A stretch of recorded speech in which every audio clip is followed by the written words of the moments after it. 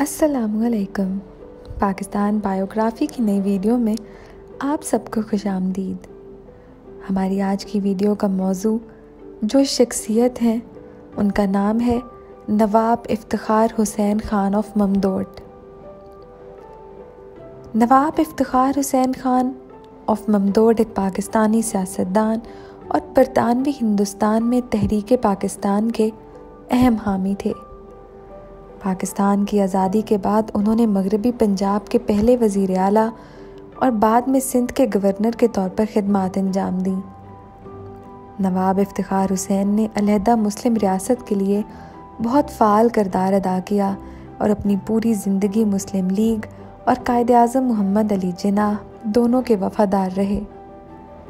इफ्तार हुसैन ममदोड भी उन पंजाबी जागीरदारों में शामिल थे जिन्होंने पंजाब में सर फजल हुसैन, खिजर हयात टवाना और छोटू राम की सरबराही में यूनियनिस्ट पार्टी की तहरीक की मुजामत की। आइए बात करते हैं उनकी इब्तदाई ज़िंदगी और तालीम के बारे में। इफ्तार हुसैन ममदोट 1906 में लाहौर में शाहनवाज खान ममदोट के बेटे के तौर पर पैदा हुए। उन्होंने गवर्नमेंट कॉलेज लाहौर से तालीम हासिल की और इसके बाद दक्कन में रियासत हैदराबाद की पुलिस सर्विस में शमूलियत इख्तियार की। 1942 में अपने वालिद की वफ़ात पर वो ममदोट के नवाब के तौर पर इनके जानशी हुए और अपनी ज़मीनें विरासत में तुलने पर पंजाब के सबसे बड़े ज़मींदार बन गए। वो 1942 और 1944 के दरमियान पंजाब मुस्लिम लीग के सदर के तौर पर सियासत में अपने वालिद के बाद भी कामयाब हुए। उन्होंने पंजाब के अमीर ज़मींदारों को यूनियनिस्ट पार्टी की हमायत छोड़ने और तहरीक पाकिस्तान की हमायत करने की तरगीब देने के लिए सरगर्मी से काम लिया। 1946 में वो पंजाब लेजिस्लेटिव असम्बली के लिए मुंतखब हुए और अपोजिशन लीडर बने। इस साल के आखिर में वो पंजाब में वाहिद मुस्लिम लीगी रहनुमा थे जिन्होंने पंजाब के अंदर आबादियों के रजाकाराना तबादले के लिए मोहम्मद अली जिन्ना की कॉल की हिमायत की। साल उन्नीस में तकसीम हिंद के दौरान वो मशरक़ी पंजाब में अपनी वसी ज़मीनें छोड़कर पाकिस्तान हिजरत कर गए, जो जमहूरिया हिंद का हिस्सा बन गया। 15 अगस्त उन्नीस को इन्हें पाकिस्तान में मगरबी पंजाब का पहला वज़ीर आला मुकर किया गया। फ़िरोज़पुर ज़िले में अपने हलके और मशरक़ी पंजाब में वसी अमलाक को छोड़ने के बाद ममदोट ने पाकिस्तान में अपने पावर बेस को दोबारा बनाने की कोशिश की। सरकारी मंजूरी के बगैर उन्होंने पनाह गजीनों में नए पैरोकार पैदा करने के लिए अलॉटमेंट रिवाइजिंग कमेटी बनाई और मुबैना तौर पर अपने पैरोकारों और सबक किरायादारों को जायदादें और कारें छीन लीं। वो महाजरीन में ज़रूरी ज़मीन का सबसे बड़े दावेदार बन गए। उन्होंने अपने वज़ीर बरए महाजरीन बहाली मियाँ इफ्तारुद्दीन की मुखालफत की, जिनकी असलाही तजावीज़ में महाजरीन को खाली होने वाली जायदाद और बड़े जागीरदारों के जायद ज़मीन पर मुस्तकिल तौर पर आबाद करने की वकालत की गई। इनका मौक़ मरकज़ी तौर पर मुकर करदा पाकिस्तान और मगरबी पंजाब पनाह गजीनों और बहाली काउंसिल के साथ ताउन करने से इनकार के साथ मियाँ इफ्तारुद्दीन के इस्तीफ़े का बायस बना और ममदोड को खाली जायदादों को अपनी मर्ज़ी के मुताबिक मुख्त करने के लिए खुला हाथ फराम किया। फ़िरक़ वारियत ने ममदोड की वजारत को दो चार किया।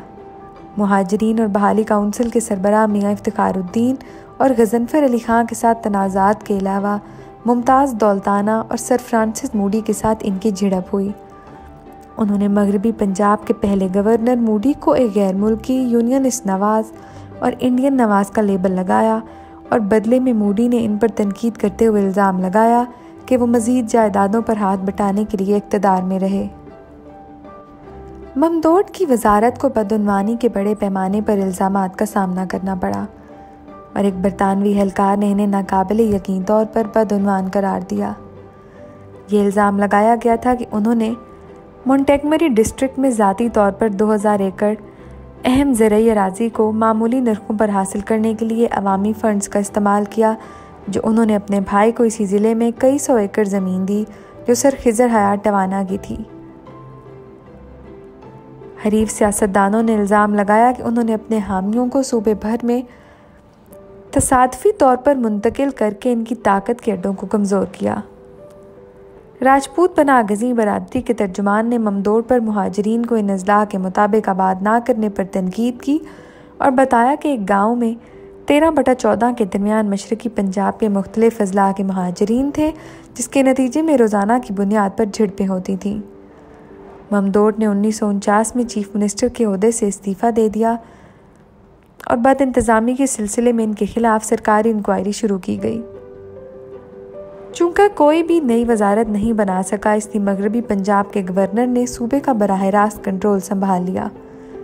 1950 में उन्होंने एक नई जमात ज़िंदा मुस्लिम लीग बनाने के लिए मुस्लिम लीग छोड़ दी, जिसने उन्नीस सौ इक्यावन के इंतबात में अपने हरीफ मुमताज़ दौलताना की क़्यादत में मुस्लिम लीग के ख़िलाफ़ मुकाबला किया। ममदोड के ख़िलाफ़ दावों का एक नतीजा इंतबात के नतीजे के बाद ज़ाहिर हुआ, क्योंकि महाजरीन के नुमाइंदे पंजाब असम्बली का महज पाँच फ़ीसद थे। हालाँकि महाजरीन कुल पंजाबी आबादी का एक तहाई हिस्सा थे। इफ्तार हुसैन ममदोट उन्नीस सौ तिरपन में दोबारा मुस्लिम लीग में शामिल हुए और उन्नीस सौ चौवन में मलिक ग़ुलाम मोहम्मद ने इन्हें सिंध का गवर्नर मुकर किया। उन्होंने 1955 में मलिक ग़ुलाम मोहम्मद के सियासी मंजरनामे से अलीहदगी के बाद अपने अहदे से इस्तीफ़ा दे दिया और इसके बाद सियासी ब्याबा में रहे। ममदोड का इंतकाल 16 अक्टूबर उन्नीस सौ उनहत्तर को लाहौर में हुआ। तो नाजरीन, ये थी नवाब खान ममदोड के बारे में मुकम्मल मालूम हम उम्मीद करते हैं कि हमारी बाकी वीडियोस की तरह आपको ये वीडियो भी अच्छी लगी होगी। अगर आपको हमारी वीडियो पसंद आई है तो इसे लाइक और शेयर करना मत भूलें। अपना फीडबैक हमें कमेंट्स के ज़रिए ज़रूर बताएँ और साथ ही साथ हमारे चैनल पाकिस्तान बायोग्राफ़ी को सब्सक्राइब भी कर दें। बहुत शुक्रिया।